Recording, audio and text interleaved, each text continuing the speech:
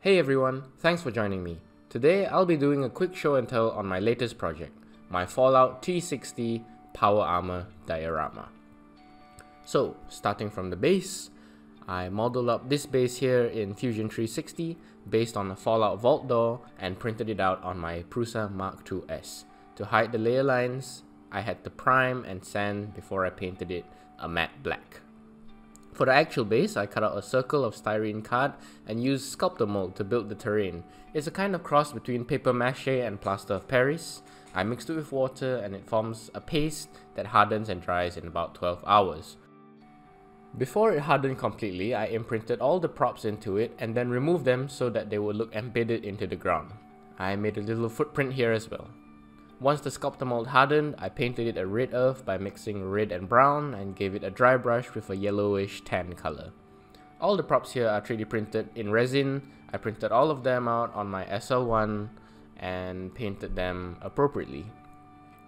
This Nuka-Cola vending machine was painted a Coca-Cola red first, then paint washed with a dark brown, then I dry brushed rust brown, then silver to simulate rust, and a final dry brush of red earth for the dirt and grime.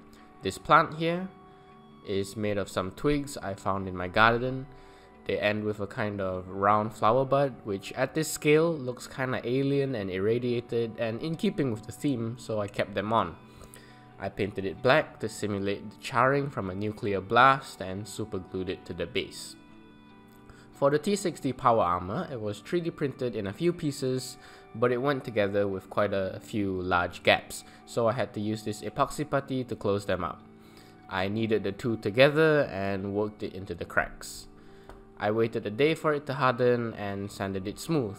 You can hardly see the gaps now, like uh, here on the arms and uh, here on the back. Once I got everything glued up and ready for paint, I airbrushed everything matte black and then a burnt iron base coat. I gave the whole thing a dark paint wash and then dry brushed a bright chrome to highlight edges. I hand painted the rest of the details like the eyes and the various details on the Gatling laser. Once everything was painted, I super glued everything onto the base and airbrushed some matte onto areas on the base I felt were a little too glossy. And that's about it. Thanks for watching my quick showcase. Comment any questions you may have, drop a like if you liked it. I'll leave you on a couple close-ups and pictures. See you soon.